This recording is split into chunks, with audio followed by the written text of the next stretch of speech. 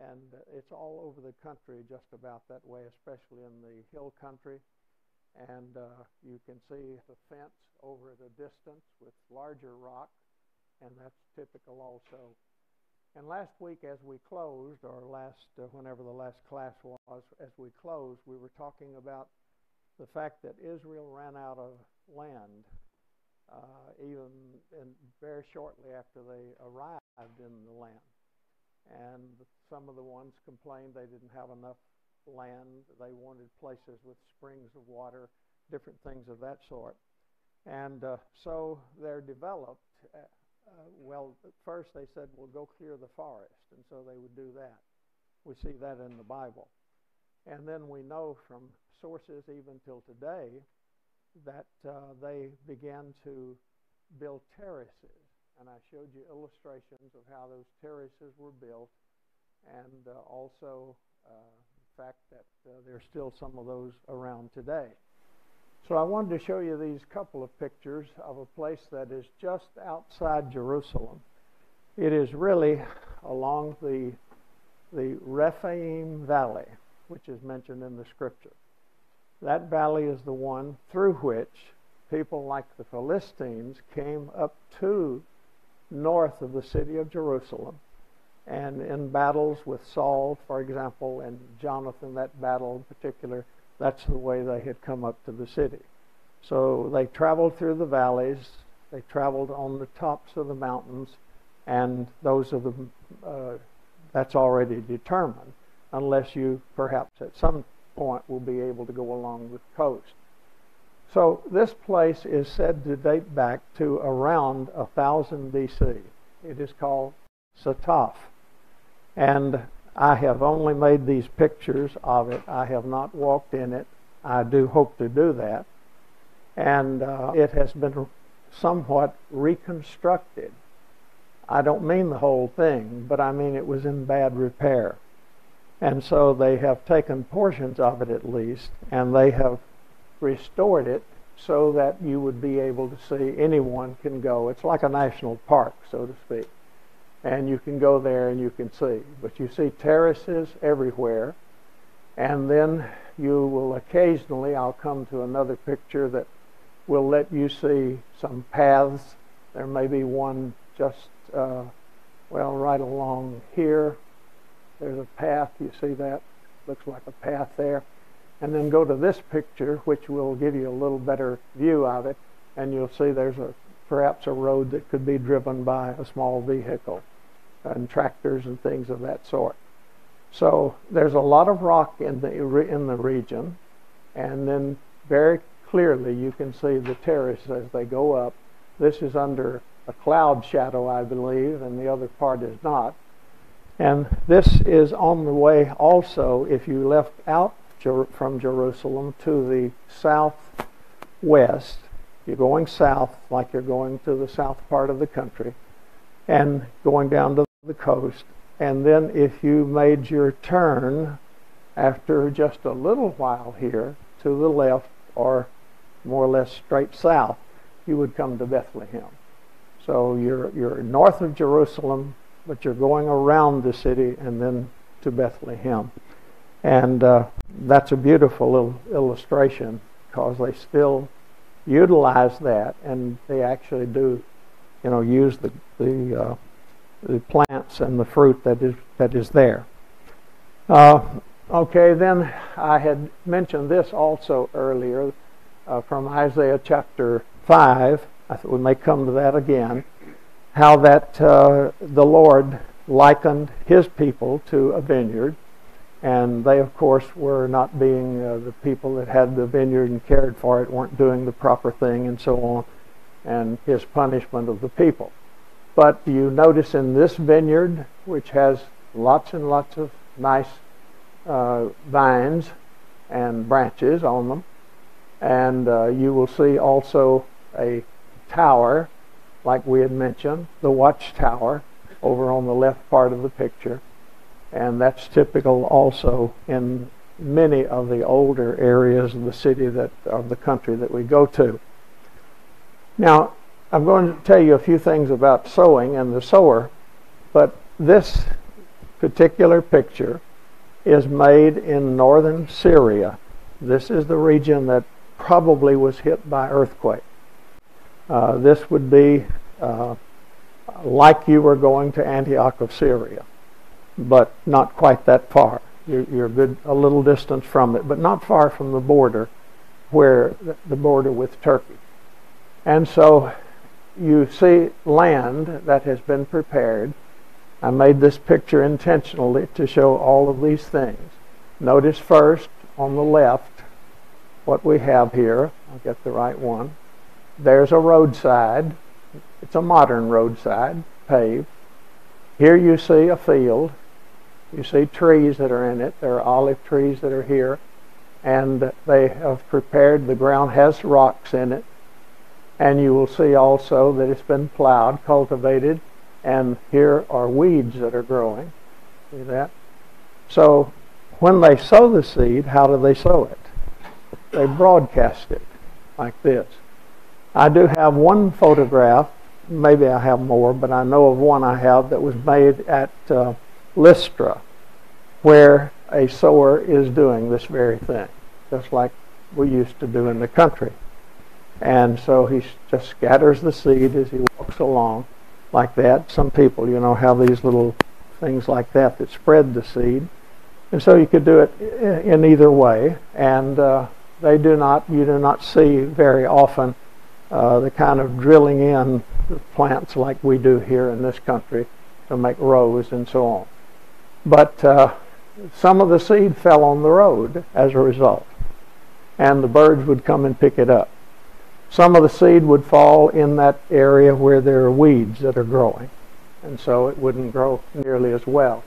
And some fell on rocky soil, probably not meaning as I'm showing it here, but that underneath there is rock.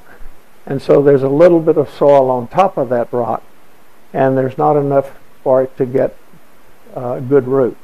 And so therefore, as a result, it's going to, uh, you know, not produce. And there's some among the thorns, obviously. Uh, didn't, wouldn't do too well there. But in this other place that's plowed, you do have often the olive grove or some other fruit. And then there will be seed that will be planted there for wheat or barley. So you have all that growing in one place. And uh, just a small farmer can do all of that, you see, at his one little place.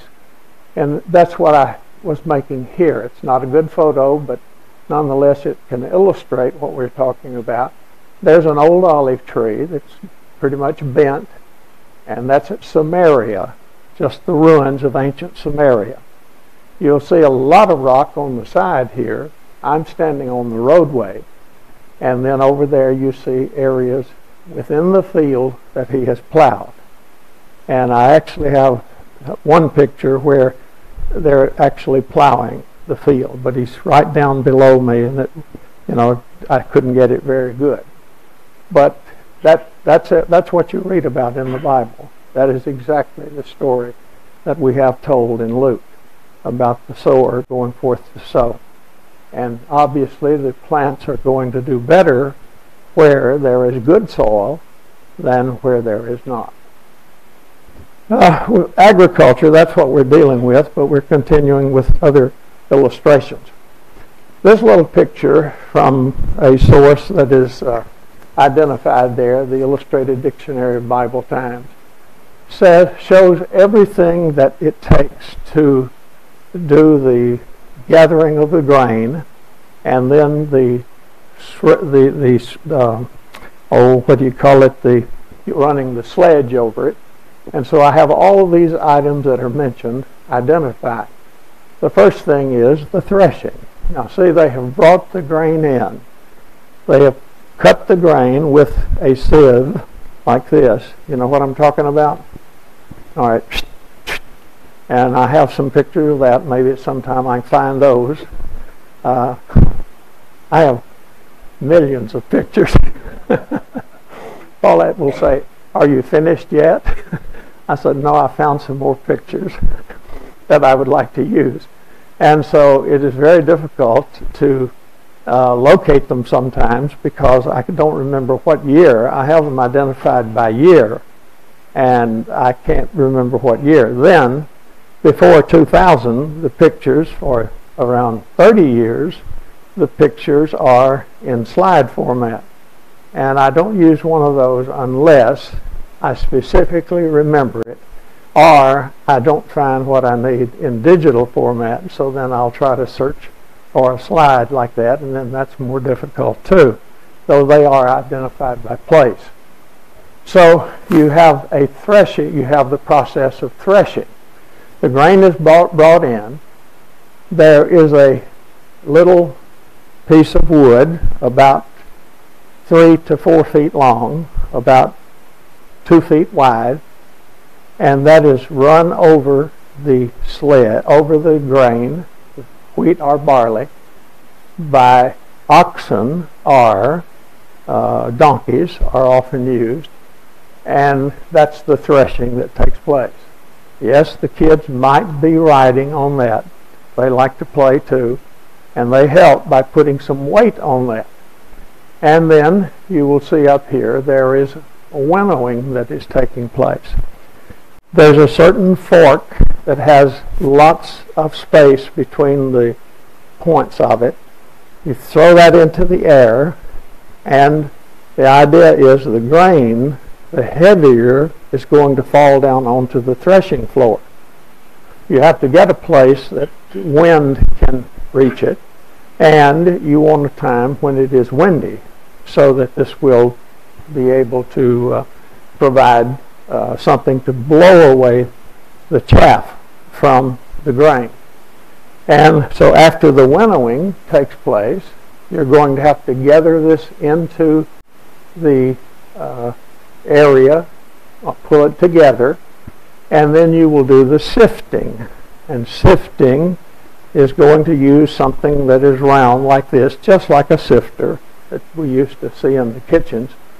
And so you they take this and they sift this grain so that the grain falls through or stays in the sifter and the the uh, the idea is that the lightweight things will blow away and that would get rocks out and things of that sort as well which might be there then in addition got to go back I believe there's one more here maybe not all right so there's the sifting and I'll come to the winnowing in just a moment or two. Okay, so here we go. And I have some pictures. This is an old slide that was made in Lebanon, in the Bekaa Valley. And you see in this instance, I made this picture, so it's a real picture, not just some make-believe. And you will see that there's more than one person working. You can see a horse mule here, and then a mule behind him. And he's riding on his sledge. And the sledge is going around and around and around, and they can just bring more of the grain down onto the threshing floor and go over that. And the purpose of that is to cut it into smaller pieces each time you go over it. So if you get it down to three inches, next time maybe you get it down to two and one, or one and a half and one and a half if you're that good at this work. All right, so now here we have in the same area, you have the men who have already made some, finished the project, and they have used bags here to fill them with the good grain. And that's why you sometimes get stuff in, in your bread. you know, you get a piece of something like that in the bread for sure. And this one is from Egypt. This is from Luxor. And this gentleman is using the oxen uh, in order to do the threshing. And I believe he seems to be, is he riding on it? No, I don't think so. But he is uh, going around and around and around with the oxen and uh, trying to cut that into the little pieces. You see the sheaves that are you remember the song we used to sing, bringing in the sheaves? Yeah. And uh, that's an insult to people today to be called a sheave, so we don't. I'm just joking. So at any rate, you have sheaves that are ready there, and uh, they do tie those up. I have a, another picture, perhaps I can show you that uh, is uh, people gathering the sheaves, having them tied up, just like you'd have to do, and then taking those into where the work will be done. And a lot of that work in the field is done by women, but not all of it. And uh, you remember the text that we have in the New Testament showing that it is proper, Paul uses this twice, once for preachers and once for elders, that it is possible that you support those people who devote their full time to these efforts. You shall not muzzle the ox while he is threshing. And that's an illustration to say that if somebody works, they should be paid for what they do if that's needed. And so that's what was being done here in, in Egypt. And this is the threshing sledge. I have lots of pictures of threshing sledges. We see them uh, in display mostly. We don't see them in use as much in Israel as you would in the isolated places like the one in Egypt and the one in Lebanon. But uh, there's one that is a, a good illustration of that. And that's at Katzrin. It can be spelled with a Q or. Anything that's got C in it, our letter C, will probably be, be like a, a K, could be a Q, and spelled that way. So this place is, is. And it is in Galilee. It is north of the Sea of Galilee. And there is at that place, instead of the first century, like Nazareth village I talked about, at Katzrin there is a Byzantine site about 500 AD.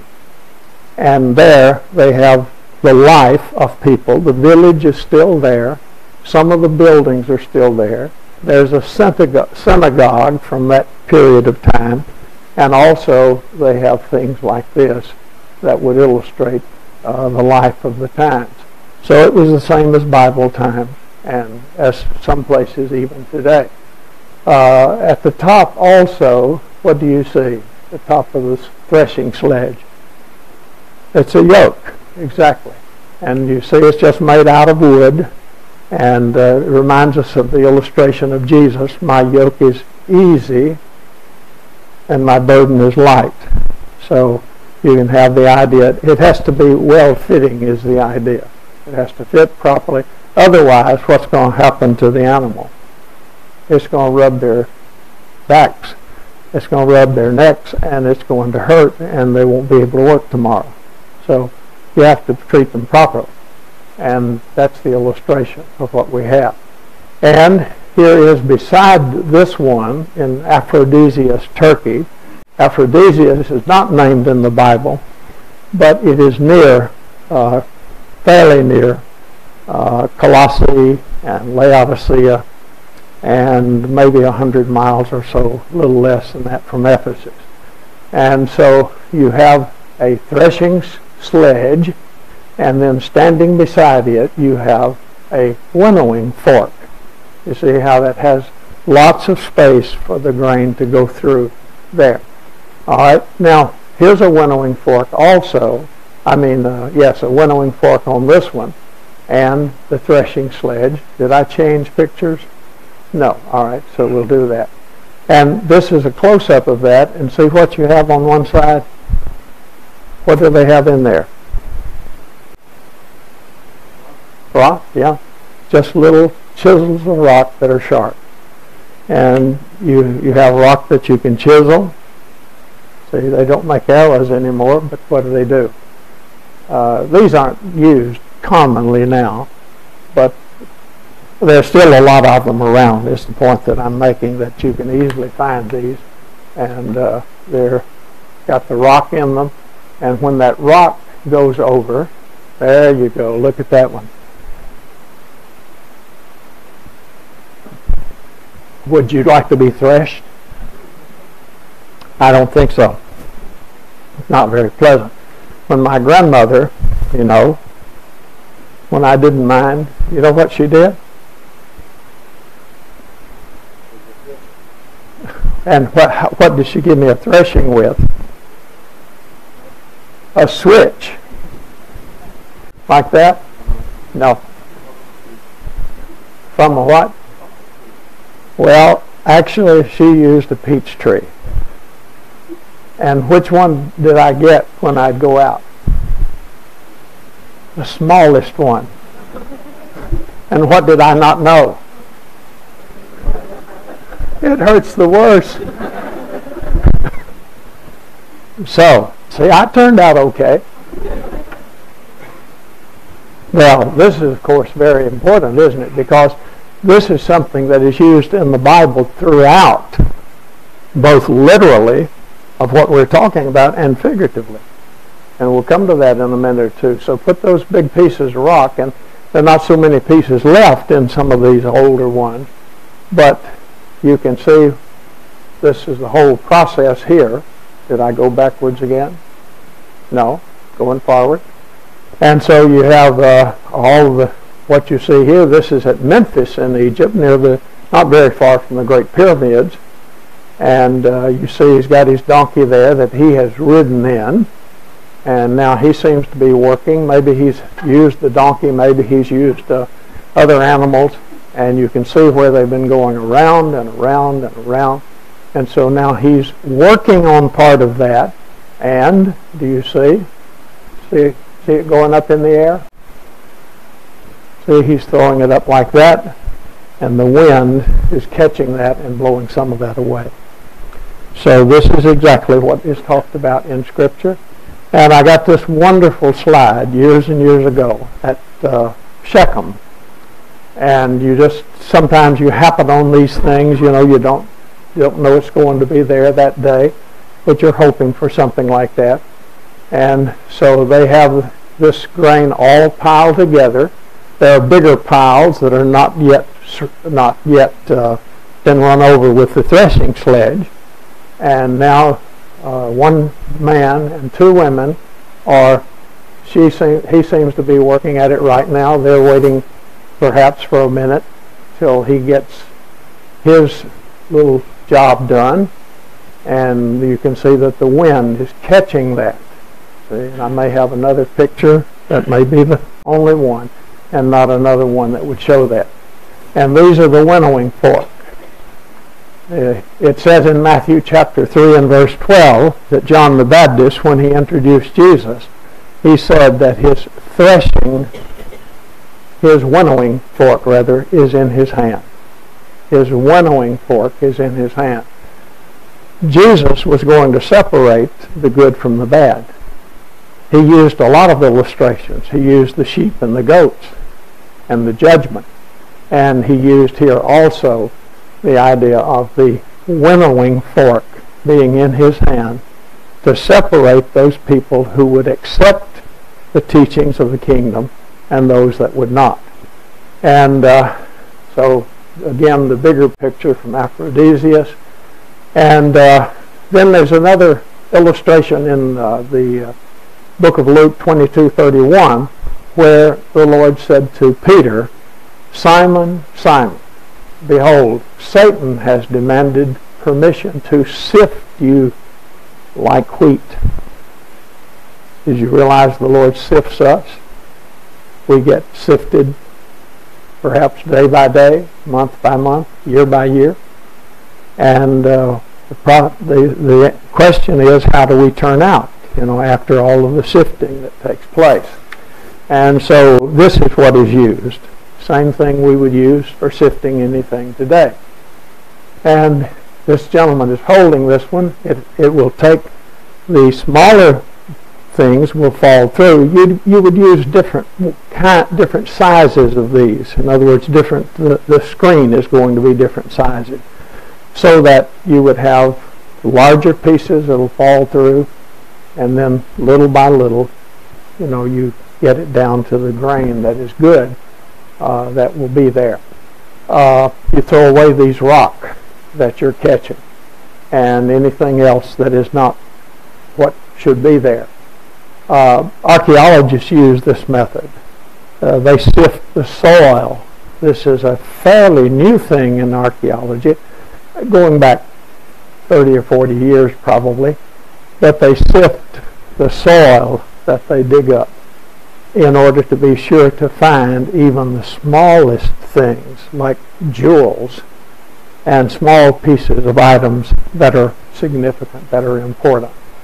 And this was at Mount Sinai. This uh, gentleman said that all of these things that he is showing here, uh, and you're not seeing all those in his sifter, you're seeing through the sifter to the floor.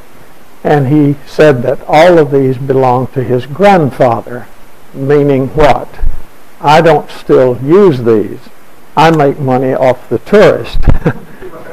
but my grandfather used to use these tools. And the, one of the tools that he used was the sifting. And that's what we read about in the scripture. Now, back to another one of these places, lower left corner, Neot Kedumim is a wonderful place to visit to see a lot of the customs. And they have a threshing floor there that is actually stone. This is a big stone that is here. It's stone, a lot of stone in the area. And you can see not in such good condition right now as some of the ones I've shown you, but they still have here this, this uh, item right there. See, that's the threshing sledge. And so with the animals pulling that over and over and over on that rock, that's going to do a pretty good job. Maybe less dirt in your flour uh, than if you had the other one that's just on earth. But you'll see a lot of them that are just, just on earth, and uh, they keep going around and around on those things. And so in Isaiah 21 and verse 10, the Bible says, Oh, my threshed people, Israel had been threshed. They're going to be because Babylon and the other countries, the Assyrians and the Babylons are coming in and it's going to be bad. Oh, my threshed people and my afflicted of the threshing floor. Can't you just hear this, make a, make a good commercial out of that? I mean, here's the wheat down on the ground, and the wheat says, Oh, please, don't come over me again. And then here he comes. and then again and again and again. It just keeps, keeps going. I wish that would stop. And it just keeps going. And that's exactly the way Israel felt. Do you realize that the Assyrians were in the country from 10, from 935 at Hazor they were still there at 922 and 21 at Samaria, making our way south. And they're there at, what is it, the year uh, 909, 910 at least, when they take Lachish and they try to take Jerusalem. Think about that. Think how many cattle they ate. Think how many bushels of grain they ate per day. Think how many fruit trees just one regiment could take care of all the right fruit. You see what the Lord did to his people? His people were being threshed. That's the illustration that is used in a lot of these biblical references. Here's another one in Isaiah 27:12. It says, The Lord will start his threshing from the flowing stream of the Euphrates to the brook of Egypt. Now, I identified the brook of Egypt. Some of you would know this if you had freshman Bible, Old Testament, that it is the Wadi El Arish. It's not the Nile River. The Wadi El Arish is the boundary of the promised land on the south at the coast, the coast of the Mediterranean. It is just south, the southern portion of what we call the Gaza Strip today. And so there's a little stream, Wadi. Wadi means it doesn't run all the time. It's a dry creek bed. And when it rains, when they do have rain there, there's not so much, you know, but when it does, that water flows through that. Elah is a brook the same way. It's a brook. It's not a river. It's just something that runs when, when after there has been rain. And uh, so you will go from the Euphrates, which is now at the border with Syria and Turkey, runs, of course, on through, through Iraq. And when you go from there, it will go all the way to your southern border. So what does that cover? It covers the entirety of the land that God promised to his people Israel. I'm going to give you this land. But if you don't obey me, what's going to happen? You're going to be threshed. So he told them the same thing that we talk about when we say, you're going to get a good spanking. and well, it's worse than that, because I'm sure none of us would kill our kids. so, this is the Euphrates. Look at that big river. It is a big river. The Jordan was nothing compared to that. You could lay the Jordan in there 20 times across that, maybe more. And that's just one place. I've seen the uh, Euphrates several places. And this place up in Turkey uh, is a very good illustration of how large it is. And he says from that. Now, I didn't look up the references on this, but you will find, if you will take your concordance, uh, you know, do it like this. And you take your concordance and you check it, and you will find that the Lord told them many times that I'm going to dry up the river. What did he mean when he said, I'm going to dry up the river? And the armies will come what? They'll come across on dry land. Was that literal? No, no, no. What do you mean when he said we're going to dry up the river? It meant just one thing. It meant war. It meant the battle is coming. It meant somebody's going to come in here and they're going to eat you up. They're going to come in here and they're going to run all over you. This is the way the Lord warned his people to tell them that the Euphrates would be dried up and these enemies. So who was on the other side of the river? Assyria, number one. Number two, Babylon. And so they had that in two separate times, the, those great enemies that came after them at that there. Now, he made a point in Isaiah 28, verse 27, when he says, For dill is not threshed with a threshing sledge. Dill is something small, like comes off of a little plant of some sort you'd have in your garden. And so it's not with a threshing sledge, nor is the cartwheel driven over cumin. You tithe what? Mint, anise, and cumin. Little bitty things. He, he was complimenting the people in a way, but then he was getting after them. You, you, you, you will you'll tithe these things. Can't you just say? so yes, getting salt out. Lord wants us to tithe, and so we get our salt out and or try confectionery sugar. and we've got our microscope down there, and we say, okay, one for the Lord, nine for me. Imagine that.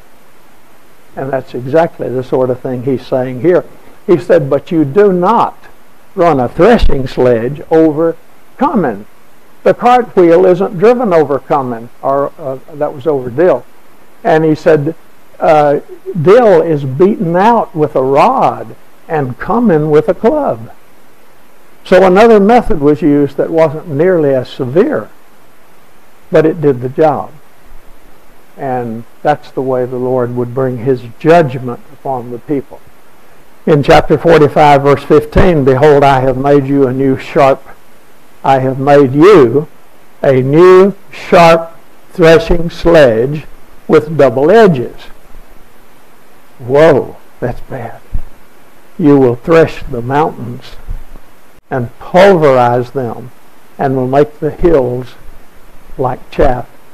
Now he's telling Israel that the time will come that you will be successful again if you return to me, and you will be threshing the enemy.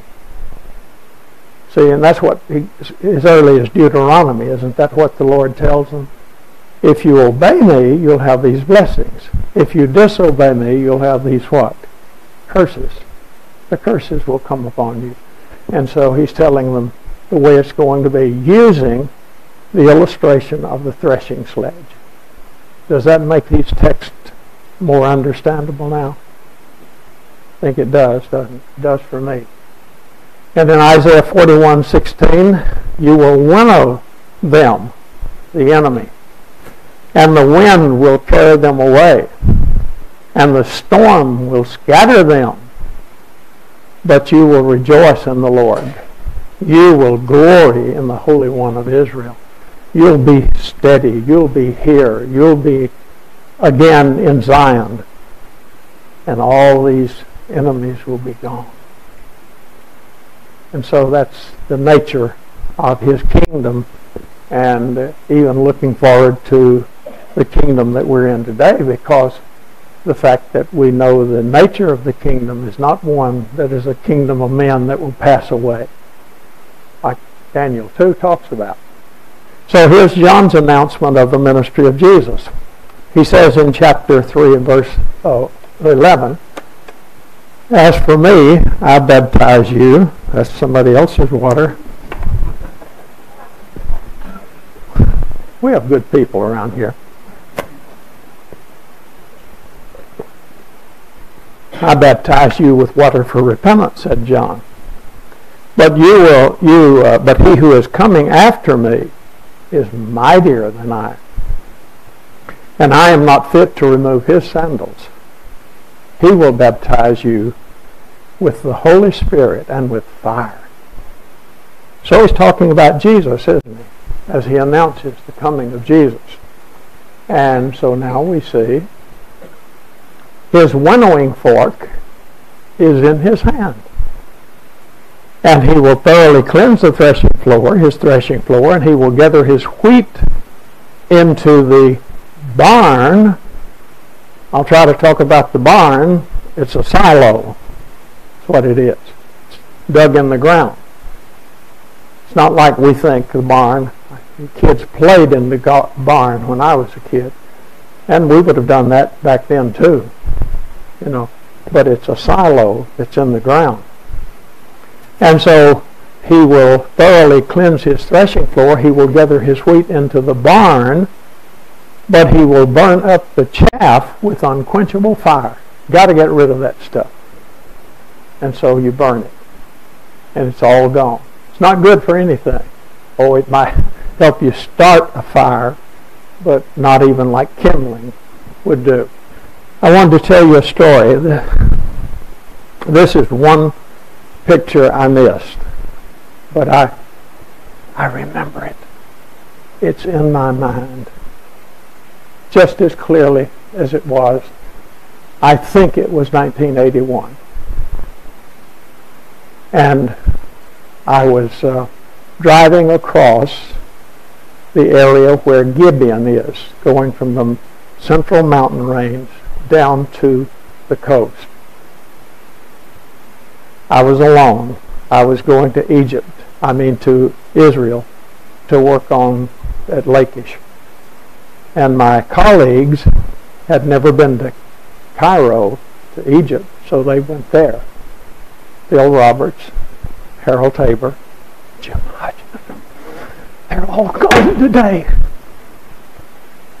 Only I remain.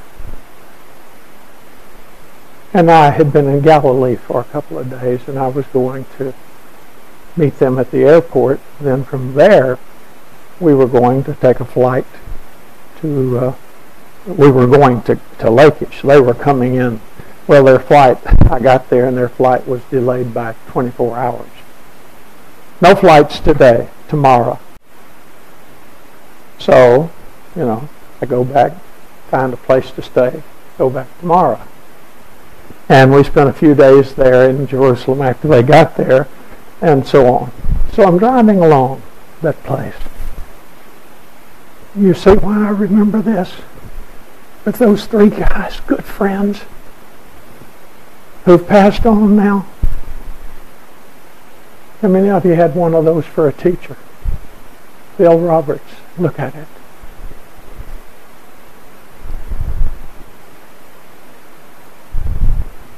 There was a woman over here. There was a threshing floor. But I was watching my road, and by the time I saw it, it was too late. She had taken, you know, they will cut the sheaves about like this. They cut the grain. It depends on the height of the grain, of course. But some of them are like this. And she had taken one of these and then tied it. And what has she made for herself? Hmm? She's got a handle, but she's got a handle on the top of it, and what's she going to do with it? She's made a broom out of it. And you know what she was doing? She was at the edge of the threshing floor.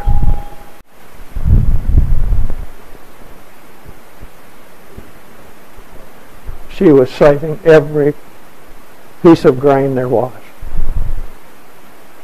That's what it means. He will thoroughly cleanse his threshing floor.